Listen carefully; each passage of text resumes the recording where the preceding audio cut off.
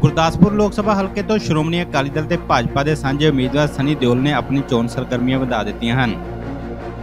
ਸਨੀ ਦਿਓਲ ਵੱਲੋਂ ਅੱਜ ਡੇਰਾ ਬਾਬਾ ਨਾਨਕ ਵਿਧਾਨ ਸਭਾ ਹਲਕੇ ਦੇ ਵੱਖ-ਵੱਖ ਪਿੰਡਾਂ ਵਿੱਚ ਜਾ ਕੇ ਰੋਡ ਸ਼ੋਅ ਕੀਤਾ ਜਾ ਰਿਹਾ ਹੈ। ਰੋਡ ਸ਼ੋਅ ਦੀ ਸ਼ੁਰੂਆਤ ਦੇ ਮੌਕੇ ਸਨੀ ਦਿਓਲ ਦੇ ਨਾਲ ਸੁਖਜਿੰਦਰ ਸਿੰਘ ਸੋਨੂ ਲੰਗਾ ਅਤੇ ਸ਼੍ਰੋਮਣੀ ਯੂਥ ਅਕਾਲੀ ਦਲ ਦੇ ਜ਼ਿਲ੍ਹਾ ਪ੍ਰਧਾਨ ਰਮਨਦੀਪ ਸਿੰਘ ਸੰਧੂ ਵੀ ਮੌਜੂਦ ਸਨ। ਇਸ ਮੌਕੇ ਸੰਧੂ ਨੇ ਦਾਅਵਾ ਕੀਤਾ ਹੈ ਕਿ ਸਨੀ ਦਿਓਲ ਗੁਰਦਾਸਪੁਰ ਲੋਕ ਸਭਾ ਹਲਕੇ 'ਚੋਂ 2 ਲੱਖ ਤੋਂ ਵੱਧ ਵੋਟਾਂ ਨਾਲ ਜਿੱਤਣਗੇ। ਉਹਨਾਂ ਕਿਹਾ ਹੈ ਕਿ ਲੋਕਾਂ ਅੰਦਰ ਸਨੀ ਦਿਓਲ ਨੂੰ ਲੈ ਕੇ ਵੱਡਾ ਉਤਸ਼ਾਹ ਵੇਖਣ ਨੂੰ ਮਿਲ ਰਿਹਾ ਹੈ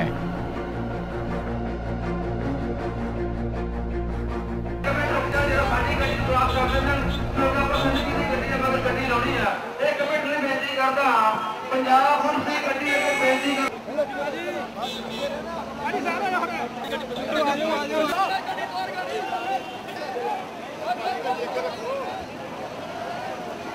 ਆਰ ਕੇ ਭਾਜੀ ਗੱਡੀ ਚਲਾਓ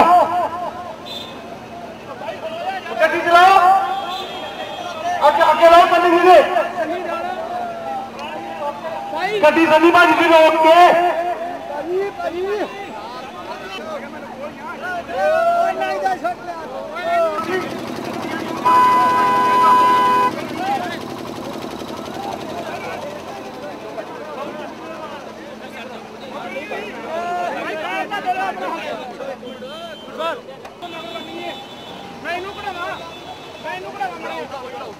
ਸ਼੍ਰੀ ਸਨੀ ਦਿਓਲ ਜੀ ਦਾ ਅੱਜ ਜੋ ਵਿਧਾਨ ਸਭਾ ਹਲਕਾ ਡੇਰਾ ਬਾਬਾ ਨਾਨਕ ਦਾ ਰੋਡ ਸ਼ੋਅ ਹੈ। ਸਨੀ ਜੀ ਨੇ ਆਪਣਾ ਰੋਡ ਤੈਅ ਕੀਤੇ ਰੋਡ ਮੁਤਾਬਕ ਸਨੀ ਜੀ ਅੱਜ ਨਿਕਲ ਚੁੱਕੇ ਨੇ। ਵੇਖੋ, ਬਹੁਤ ਵੱਡੀ ਤਦਾਦ ਦੇ ਵਿੱਚ ਸ਼੍ਰੋਮਣੀ ਅਕਾਲੀ ਦਲ ਤੇ ਭਾਜਪਾ ਦੇ ਵਰਕਰ ਇੱਥੇ ਪਹੁੰਚੇ ਆ।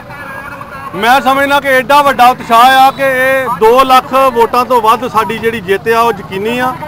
ਮੈਂ ਜ਼ਿਲ੍ਹਾ ਪ੍ਰਧਾਨ ਯੂਥ ਅਕਾਲੀ ਦਲ ਦਾ ਹੋਣ ਦੇ ਨਾਤੇ ਮੈਂ ਤੁਹਾਨੂੰ ਵਿਸ਼ਵਾਸ ਦਿਵਾਉਣਾ ਸਾਰੀ ਸੰਗਤ ਨੂੰ ਕਿ ਇਹ ਜਿਹੜਾ ਰੋਡ ਸ਼ੋਅ ਆ, ਇਹ ਪੂਰੀ ਅਮਨ ਸ਼ਾਂਤੀ ਔਰ ਵੱਡੀ ਗਿਣਤੀ 'ਚ ਜਿਹੜੇ ਲੋਕ ਇਹਦੇ ਨਾਲ ਜੁੜਨਗੇ। ਔਰ ਮੈਂ ਸਮਝਦਾ ਕਿ 19 ਤਰੀਕ ਨੂੰ ਜਿਹੜੀਆਂ ਵੋਟਾਂ ਪੈਣੀਆਂ, ਫੁੱਲ ਦੇ ਨਿਸ਼ਾਨ ਤੇ ਵੱਡੀ ਗਿਣਤੀ 'ਚ ਵੋਟਾਂ ਪਾ ਕੇ ਸ਼੍ਰੋਮਣੀ ਅਕਾਲੀ ਦਲ ਤੇ ਭਾਜਪਾ ਦਾ ਜਿਹੜਾ ਕੈਂਡੀਡੇਟ ਸਨੀ ਦਿਓਲ ਆ ਇਹ ਵੱਡੀ ਲੀਡ ਨਾਲ ਇੱਥੋਂ ਜਿੱਤਣ ਜਾ ਰਿਹਾ। ਕੱਲ ਸੜਕ ਹਾਦਸਾ ਹੋਇਆ ਉਸ ਤੋਂ ਬਾਅਦ ਕੋਈ ਕੈਂਪੇਨ ਦੇ ਵਿੱਚ ਢਿੱਲ ਹੋਈ ਹੈ? ਕੋਈ ਕੈਂਪੇਨ 'ਚ ਢਿੱਲ ਨਹੀਂ ਹੋਈ ਲੇਕਿਨ ਇਹਨਾਂ ਦਾ ਪਾਰਟੀ ਦਾ ਉਦਾਂ ਆ ਅੱਜ ਦਾ ਰੋਡ ਸ਼ੋਅ ਵੇਖੋ ਕਿੱਡਾ ਵੱਡਾ 2-300 ਗੱਡੀ ਦਾ ਪਿੱਛੇ ਕਾਫਲਾ ਆ। ਦਿਓਲ ਵੱਲੋਂ ਪੂਰੀ ਜਾਨੋ ਜਾ ਉਹਨਾਂ ਵੱਲੋਂ ਕੋਈ ਵੀ 1% ਢਿੱਲ ਨਹੀਂ ਕੀਤੀ ਜਾ ਰਹੀ।